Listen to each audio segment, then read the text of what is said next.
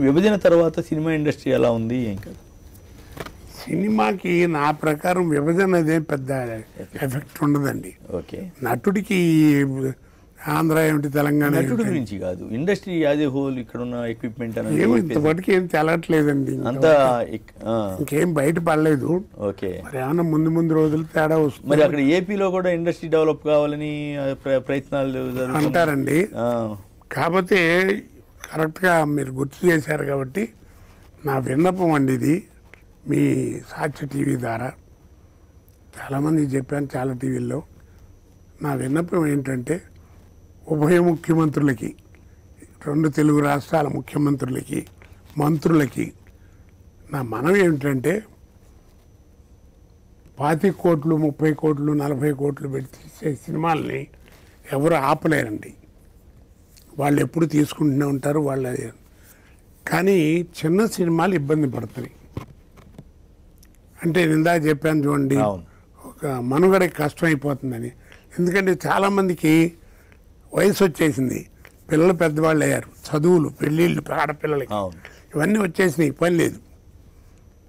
తెలుగువారు మనం తెలుగువారుగా కళాకారులు ఇబ్బంది ఇబ్బంది పడుతున్నారు. కాబట్టి నేను ఏమంటానంటే ముప్పై కోట్లు నలభై కోట్లు పాతిక వాళ్ళకి కోట్లు వాళ్ళకి కాదకుండా ఏడెనిమిది కోట్లలో సినిమా తీసేటువంటి అంటే పూర్తిగా నూటికి నూరు పాళ్ళు తెలుగు వాళ్ళను పెట్టుకుని తీసే సినిమాలే సినిమాలకి ఈ రాయితీలు కానీ ఏమండి నంది అవార్డ్స్కి కానీ ఏదైనా ట్యాక్సుల్లో కన్సెషన్ కానీ ఇలాంటివి కనుక?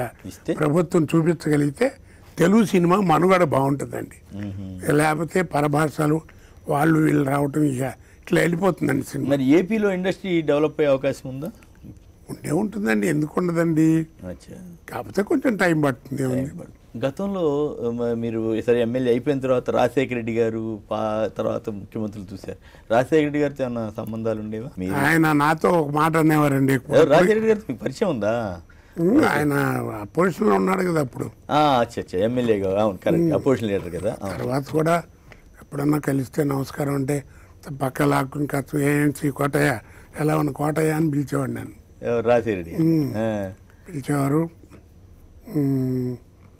మా అబ్బాయి పోయినప్పుడు కూడా వారి అబ్బాయి కూడా వచ్చి చూసి. పలకరించారు. అవేం లేవండి అన్నీ బాగానే ఉంటాయి. ఆయన నేను కనబడ్డప్పుడల్లా ఒకటే అనేవాడండి నువ్వు రాజకీయానికి బాగా పనికి వస్తావా బట్ యువర్ రాంగ్ పార్టీ అనేవాడు. రాజశేఖర రెడ్డి అంటే ఆయన ఆయన పార్టీలో రావాలని మీకు ఆయన కోరిక ఏమో. ఏదైనా కానివ్వండి. రాజకీయాలకి చాలా బాగా పని చేస్తావు పనికి వస్తావు బట్ యువర్ రాంగ్ పార్టీ అనేవాడు. ఓకే. నవ్వుకుంటుండేవాడిని జగన్ గారితో కూడా పరిచయం ఉందా జగన్ గారితో నాకు పెద్ద పరిచయం లేదండి. ఓకే. వారితో బాగా రాజశేఖర్ గారి మీకు బాగా సంతోషం కలిగించిన సందర్భం? ఇదేనండి. పద్మశ్రీ పురస్కారం జరగడం. నా లైఫ్లో నేను ఊహించందండి మీరు బాగా బాధపడ్డ సందర్భం? బాగా బాధపడడం అంటే సరే కొడుకు పోవడం ఇవన్నీ ప్రొఫెషనల్గా పంజరం అని ఒక సినిమా చేశానండి. చాలా మంచి వేషం. నూట నాలుగు నూట మూడు నూట రెండు జ్వరం పెట్టుకుని ఆ సినిమా యాక్ట్ చేశాను. ఆ సినిమా రెండు రోజులు మూడు రోజుల కంటే ఆడలేదు ఏడ్చాను ఆ రోజు. చాలా మంచి వేషం అండి. ఏడ్ చేశారు ఏడ్చాను ఆ రోజు. ఎందువల్ల అంటే కష్టం ఏం మీద ఇతరత్ర ఏమో ఉండుంటాయి.